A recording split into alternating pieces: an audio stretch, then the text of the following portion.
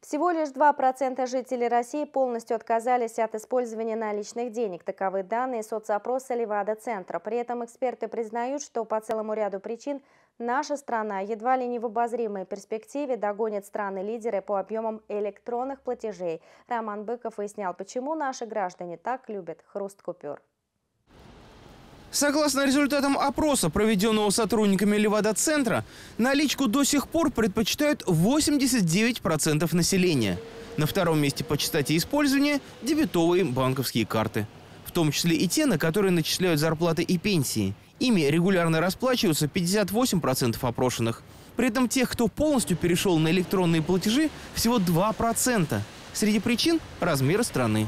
Российская Федерация – страна очень протяженная географически, и есть огромное количество территорий, которые удалены от столицы, и где, к сожалению, охват э, безналичных э, платежей невысокий из-за того, что там просто нету таких возможностей.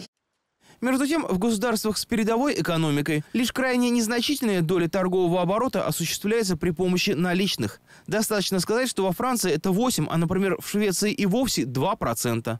Наш коллега был в этой скандинавской стране и подтверждает, как выглядит крона, он и знать не знает. Шведских крон я не видел ни как мелочи, ни как крупных купюр. Расплачивался я либо телефоном, либо картой, привязанной к телефону непосредственно, то есть системой NFC. В России же люди еще очень долго будут хорошо знать, как выглядит та или иная банкнота, говорят эксперты.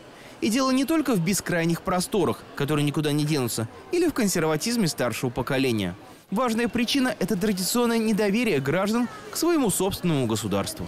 Если мы с вами безналично оплачиваем и совершаем какие-то действия, то мы находимся под контролем государства, и, в общем-то, все наши а, денежные потоки, они а, соответствующим органам видны и понятны. А, в отдельных случаях это может вызывать нежелательные вопросы. Сами владельцы магазинов или заведений общепита тоже не всегда горят желанием устанавливать терминалы для безналичной оплаты. Ведь это обходится им в копеечку.